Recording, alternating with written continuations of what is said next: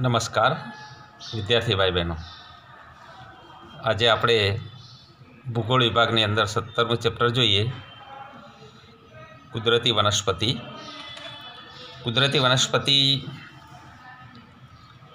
એટલે શું? સૌથી પહેલાં તો આપણે એનો અર્થ જોવો પડે કે જે વૃક્ષો માનવની સહાયતા વિના કુદરતી અવસ્થામાં ઉગે છે, તે વૃક્ષોના સમૂહને કુદરતી વનસ્પતિ કહે છે.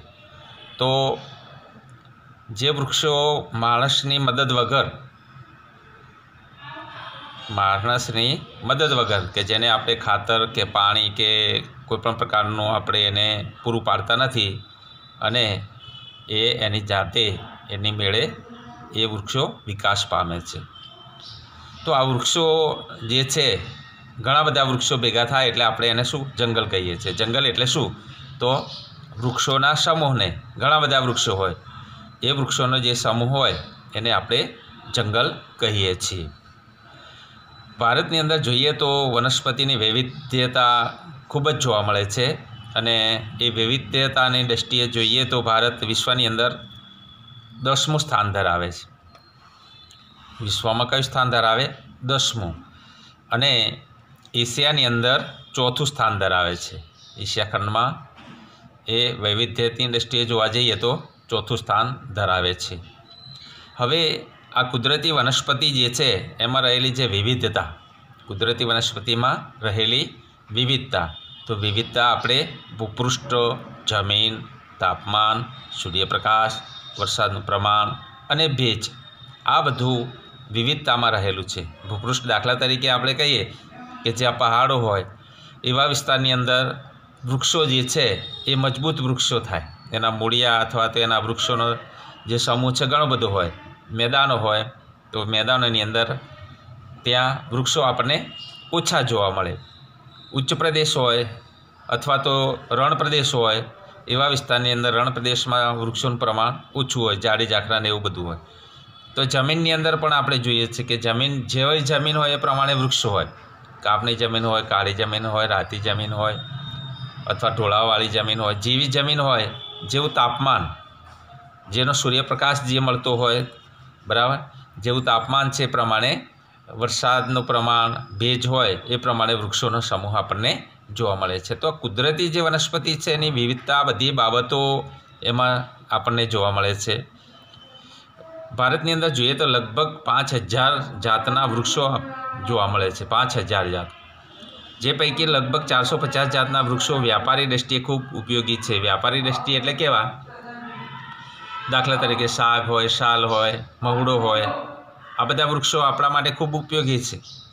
તો અને પંદર હજાર પ્રકારના જે ફૂલવાળા છોડ જોવા મળે છે. ફૂલ જે છે, જેના ફૂલ આપણે એના માટે, ફૂલો જે છે આપણા માટે ખૂબ જ ઉપયોગી છે.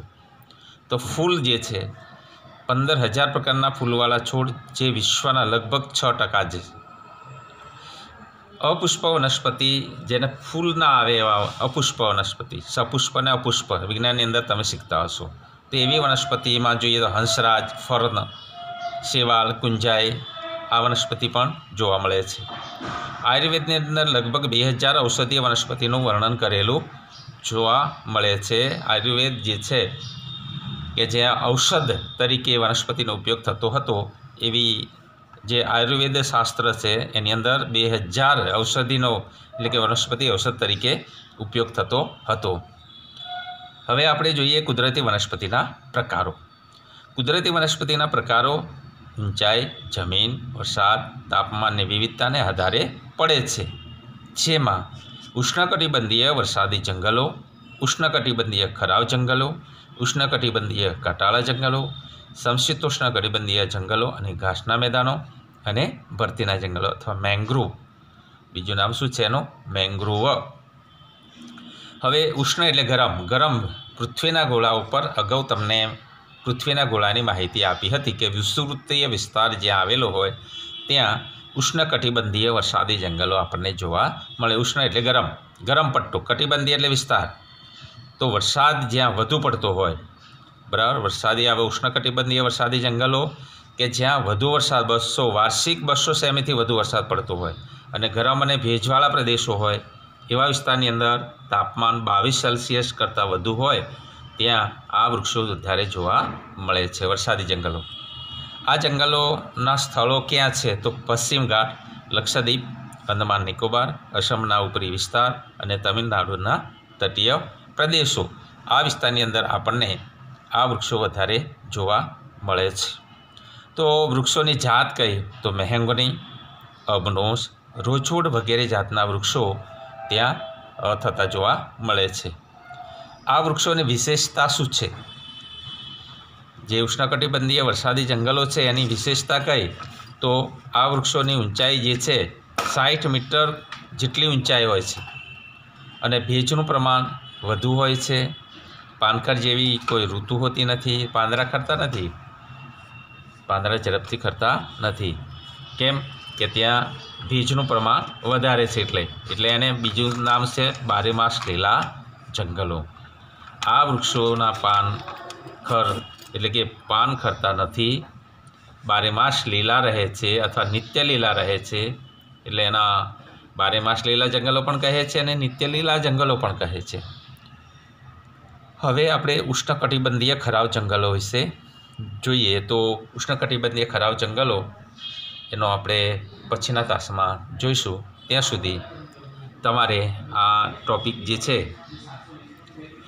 જે કુદરતી વનસ્પતિ એનો અર્થ, કુદરતી વનસ્પતિ એનો અર્થ, એની વિવિધતા, એના વનસ્પતિના પ્રકારો અને એ પ્રકારોની અંદર આપણે પહેલો પ્રકાર જોયો, ઉષ્ણકટિબંધીય વરસાદી જંગલો. એની માહિતી એમાંથી અલગ અલગ સવાલ બની શકે છે કે ઉષ્ણકટિબંધીય વરસાદી જંગલો એટલે શું?